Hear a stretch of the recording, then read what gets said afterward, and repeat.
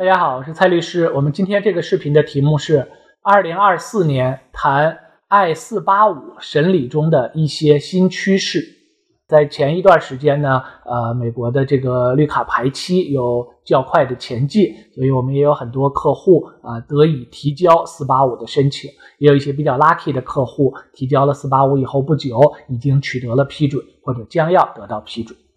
那在这个过程中呢，我们看到美国移民局有一些新的趋势，在这里呢和大家分享、讨论、说明一下，提供这样的最近的信息。首先呢，我们看到对于来自中国的申请人，美国移民局呢在背景审查方面比以前更严格一些。这个呢也很容易理解，对吧？有众所周知的原因。那有一些事情呢，不是我们个人能够改变的啊。那你如果说要申请美国移民啊，那你要相应的呃怎样来应对啊，来 cope with the issue，对吧？这方面啊，那比如说呢，我们看到有的。呃，来自中国的申请人曾经是党员或者曾经是团员等等，那么现在呢，往往需要提供更详细的说明。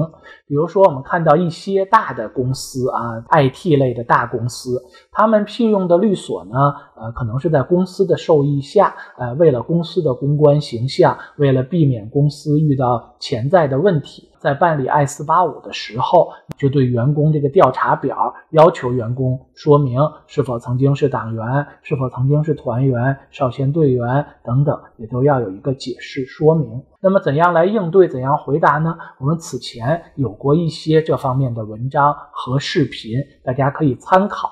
但是总体来说呢，我们感觉啊，在当前的环境下，这方面呢，美国政府比以前更严格一些。那举个例子。比如说，呃，有的人讲到，我为了工作原因，我为了事业发展，为了找一个好工作，然后我就这样这样做了，呃，或者说我为了留在大城市啊，拿到奖学金，保送研究生，进入某一个学校、某一个项目，或者取得好的成绩等等，我就这样这样做了啊。那这些呢，不是移民局接受的理由。也许若干年前可以，可能没有遇到问题，那么现在情况不一样了。还有的人呢，比如说啊，给你翻出来啊，你看党章上是这么写的，哎，其他来自中国的文件是这样写的，哎，那我有这种文件是不是就没有问题了？或者我没有来自党组织的文件，是不是就会遇到问题呀？或者说我出国已经超过五年了，是不是就没有问题了？我要是不到五年，是不是一定就不行啊？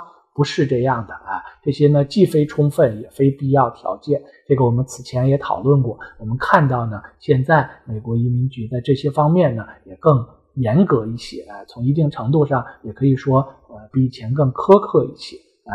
那呃过去能够通过的这个情况啊，以后呢呃同样的，而不是根据自己的情况准备一个清晰、详细、有说服力的说明啊，那么就有可能。会遇到问题，所以呢，呃，这个方面还是要认真对待，那不能自说自话，呃，不能自己觉得说啊这方面没有问题啊等等，这个呢需要认真对待。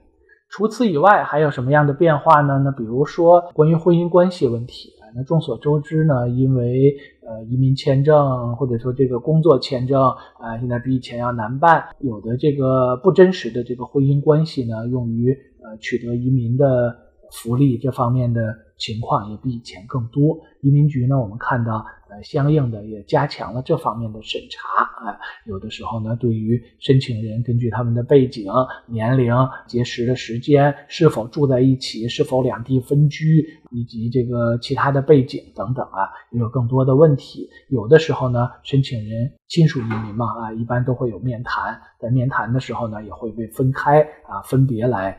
询问这方面的问题，那么职业移民是否有面谈呢？因人而异。我们看到的情况，大概四分之一左右的职业移民会有面谈，其他的呃可能就没有。呃，具体的选择呢，有一定的运气因素，也有的时候是根据申请人的背景，是否有身份的 gap，有挂靠的情况啊，或者说有其他的个人的组织成员身份问题，是否没有提供一个合理的解释等等。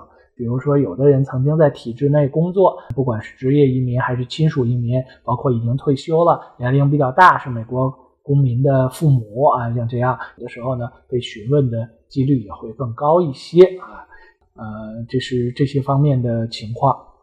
像刚才讲到，如果有的人呢，呃，尤其是疫情期间嘛，啊，有的人可能有这个签证身份的中间若干时间的 gap，或者呢，这个若干年前有这个挂靠啊等等其他的行为，或者有未经许可工作，有的人呢，他自己可能没有留意啊，就是说在美国期间还继续为在中国的原雇主工作，呃，没有在美国的工作许可等等。那这个呢？如果你没有一个合适的说明，有的时候也会遇到移民局更多的要求补充材料啊，甚至预备拒绝啊这方面的这个 notice。那总体来说呢，过去一段时间申请 I 四八五的人比较多啊，大多数人可以顺利取得批准，但是呢，也有一些人因为自己的背景情况遇到了更多的问题。我们建议呢，从一开始。准备的时候啊，就要认真准备。那如果到中间出了问题，过后再要克服这样的困难啊，那也是可以的。但是呢，往往要付出的时间、精力啊等等就更多，申请接下来取得顺利批准也就更难一些啊。所以从一开始就需要认真对待。好，有更多具体问题可以联系我们，谢谢。